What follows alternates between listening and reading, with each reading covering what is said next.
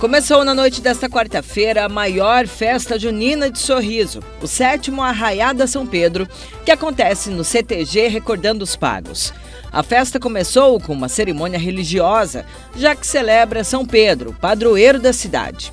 Em seguida, no palco principal, os visitantes assistiram a uma série de apresentações culturais que animaram a noite.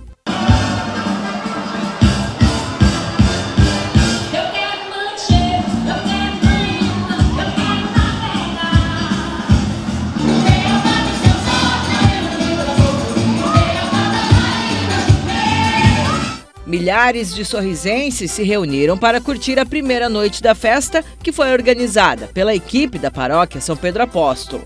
Barracas com comidas e bebidas típicas de festa junina. Tudo favorável para quem gosta da festa mais animada do ano. A festa aqui é maravilhosa, para mim é a melhor festa de sorriso. O que você mais gosta da festa? Ah, eu. É, a, a, assim, é o o espírito de festa junina, as comidas, a presença das famílias, eu acho maravilhoso. E que você está caracterizado, a filha. Vem, vem, é. A gente se, se empolga um pouquinho e coloca uma roupa diferente para presenciar. Tem que entrar no clima. Tem que entrar no clima, exatamente. Para mim é uma festa maravilhosa, né? Tem comida, tem bebida, é é uma das melhores festas que tem no ano.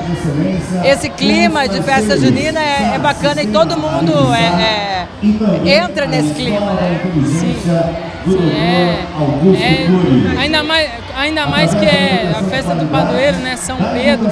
Então eu acho que tem tudo a ver com a paróquia e com a comunidade. Né? Outra atração da festa é o show de prêmios com a promoção Ligados na São Pedro, que sorteia um carro zero quilômetro e cinco motos.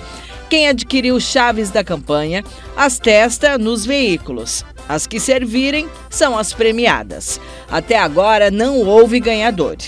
Hoje à noite a festa continua. Às 17 horas acontece a missa em celebração ao Dia de São Pedro.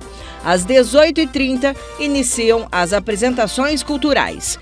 Às 20 horas começa a abertura dos envelopes das chaves e o encerramento está programado para meia-noite.